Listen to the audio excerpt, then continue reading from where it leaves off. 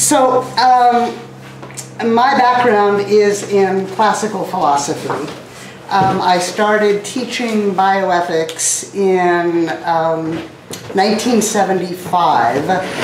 Um, there is a picture of my late husband and me hiking in the mountains of New Mexico. And it is March of 1975. I'm newly pregnant with our daughter, Robin. Um, I had just taught my first bioethics class, and my husband Mike has a bandage around his knee. And we thought it was simply a bad knee. We came down from that mountain and he was diagnosed with rheumatoid arthritis. Um, I spent my subsequent years, professional years, teaching bioethics. We lived with his deteriorating chronic illness as a family for 35 years.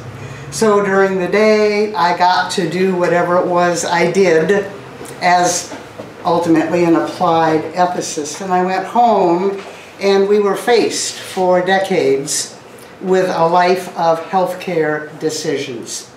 My first real exposure to protracted, difficult, at least high stakes, at least on a personal level decision making was when in the mid 1980s I started chairing a hospital ethics committee.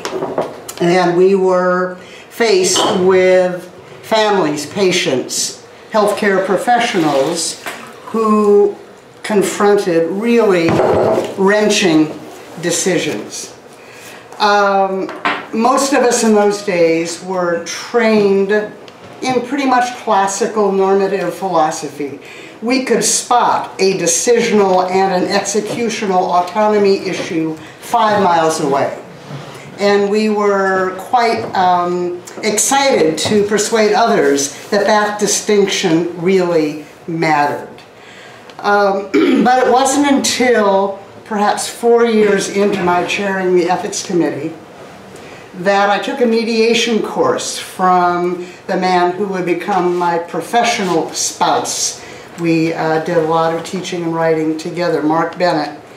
And it was in that mediation course that I realized for the first time why some, if not many, of our ethics consultations failed, or at least fell short. The chief complaint, please come in. There's room. Sorry. You can even sit in that chair if you like. It's a magic chair. Um, uh, the chief complaint was that we would have crafted what we thought was a fine decision, or at least good steps forward. But when people left the consultation, things fell apart. The decision didn't work. It was as if people had forgotten entirely what it was we had agreed that we would do. I identified in that mediation course, conflict resolution course, a glaring omission that I think applied to ethics consultation generally in those days. And that was, as classically trained philosophers, many of us were abysmally ignorant about the constitutive role that process plays in creating both the integrity as well as the durability of decisions. Uh, we had no idea about um, the unspoken, uh, at least non-verbally communicated dimensions of process that in fact were much more important to the people around the table than were our elegant analytical riffs that we um, performed on a, on a regular basis.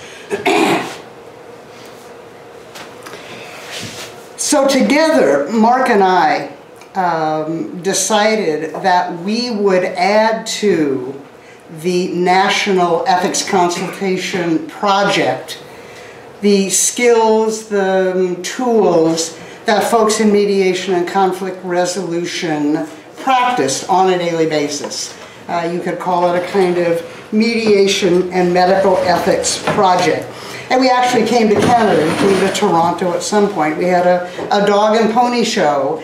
And what we did was we presented uh, very practical ways in which ethics committees uh, could make sure that they didn't unintentionally sabotage uh, their consultation processes uh, through the ignorance of what was really going on around the table. So as Mark and I were doing this together in the late 80s, early 90s, we realized that we shared a similar frustration.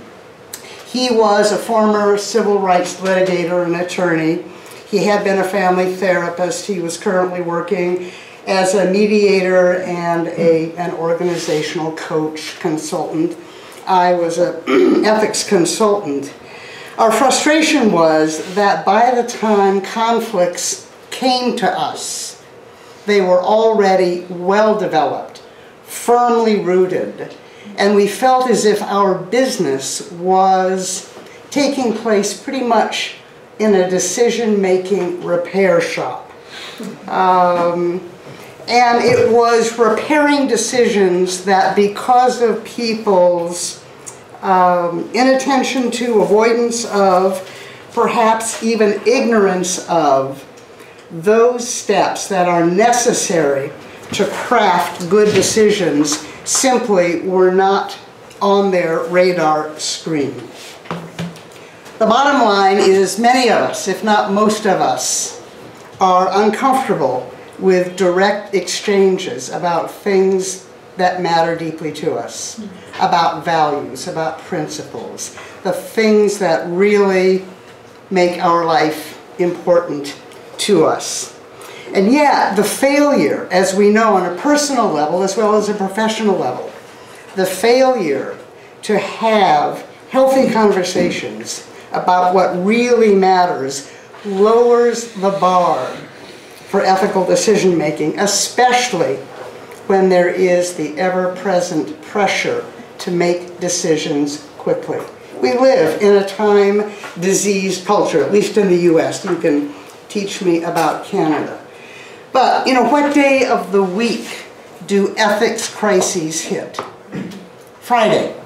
What time? Four o'clock. 4 o'clock, 4.30, absolutely. And many times, the crises have been going on for three weeks.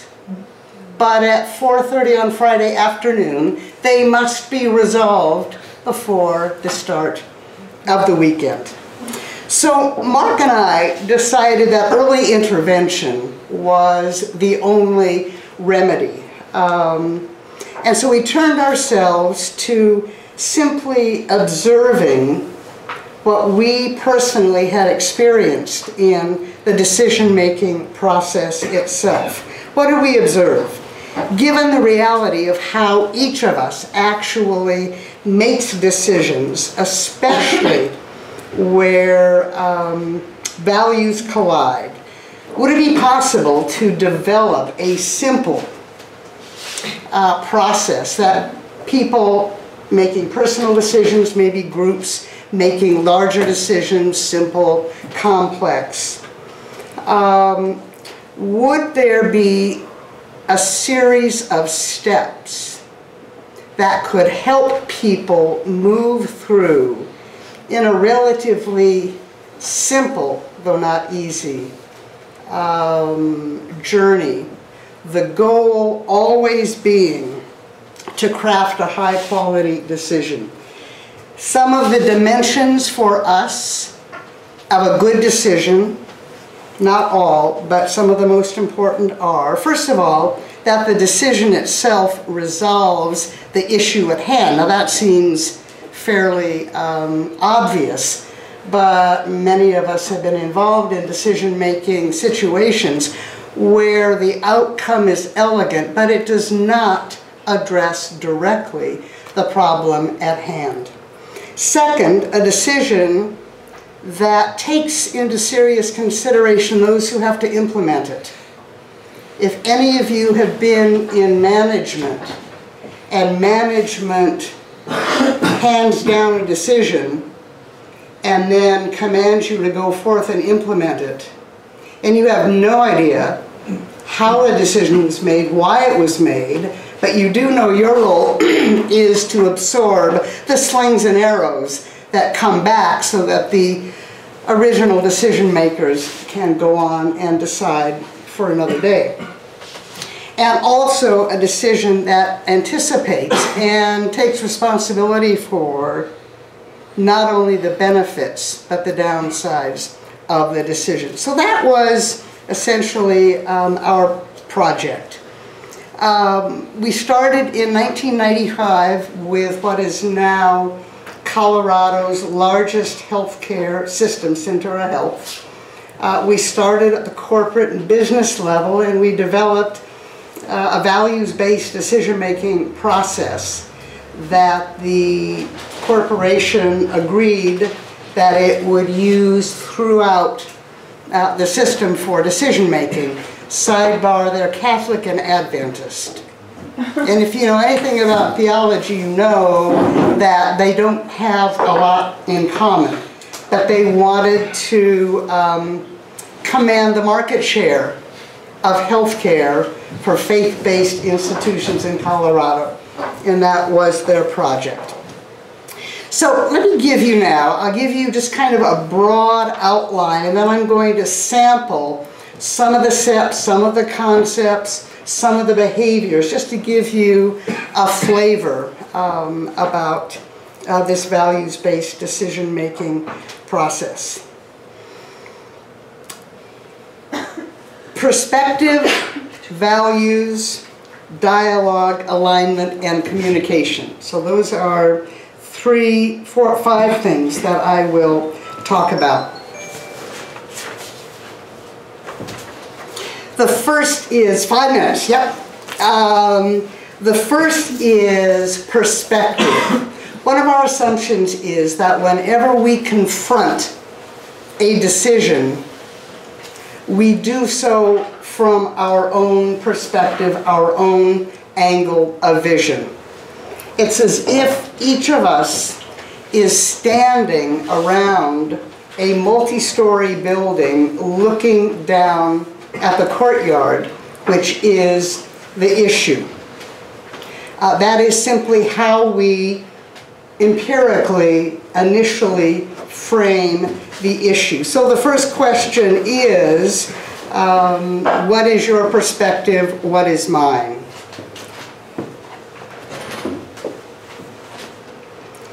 I just found these quotes, Danny, when they just were fun. People forgive you. Thank you. I appreciate that. Um, so if you're standing around a uh, courtyard and you want a 360 degree view of the issue, the only way you can do it is to invite people around the courtyard and especially those on the other side who are the only ones who can see your blind spot. The second is the issue of values. And I think if I were to do this over again, I would just get rid of the word values and I would use the word meaning. And one of our assumptions is we simply are meaning creating creatures. And in very simple language, how do we for ourselves and with others invite a conversation in a given situation about what matters to us. So a couple of uh, takeaways from this. One, one of my assumptions is every decision that we make, we do so because something matters to us. Second, decisions are difficult not because they are good versus bad, right versus wrong but they are difficult because they feature conflicts around things that really matter to us. They are good versus good. the behavior that lets us best excavate for meaning, ours and others, is dialogue. And Martin Buber defines dialogue, dialogue as that kind of conversation in which I hold myself open to the possibility that I might be changed by what you say. The kind of conversation in which I hold myself open to the possibility that I might be changed by what you say. the process itself gathers meaning data. It invites, requires that you then prioritize not just everything that is important, but what is most important. And that on that basis, when you have decided what matters most, that your decision in fact aligns with what you have committed to as most important. important. Spin, obviously, is the total misalignment, perhaps nefariously um, intentional misalignment of values and decision. of all the decision-making lessons that we learned, probably the dimension that leads most to decision failure is the failure to communicate. The failure to explain what, why, and what you don't like about your decision to those who have a right to hear. Um, businesses, corporations will tell you 90% of the time when they craft good decisions, they communicate them poorly. A good decision communicates what the decision is, who made it, the um, accountability of the actual agents who made the decision, why they did it, and specifically what they don't like. If in fact decisions feature conflicts among goods, not all goods can be honored in the ultimate decision. Every good decision has a downside and that is simply uh, the nature of the decision making.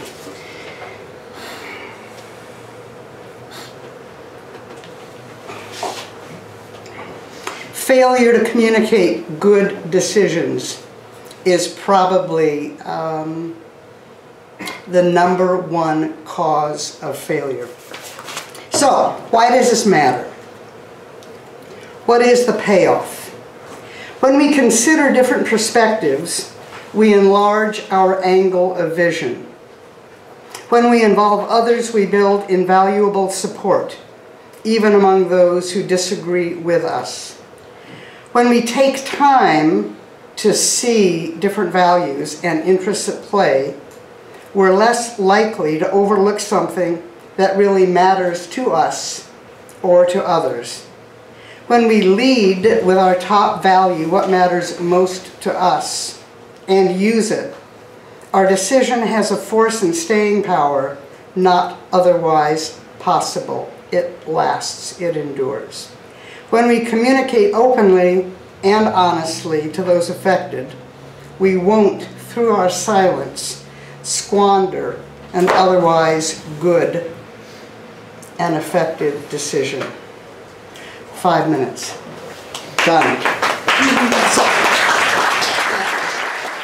You know, I used to use values, now I uh-huh. talk about meaning. Because it seems to me that, uh, or I'm curious about this, because we know, of course, that people construct meaning, right? As mm-hmm. you were saying, it's, Absolutely. It's, it's a fundamental need mm-hmm. we have to, mm-hmm. to, to find meaning. And so I was wondering to what extent the kind of disc or the kind of process you describe is actually fundamental in people constructing a meaning that may not necessarily only reflect their values, but that simply provides them some kind of coherence. right? Right. Because meaning is of course something that we ascribe to things that seem coherent to us. So to what extent is there actually a difference?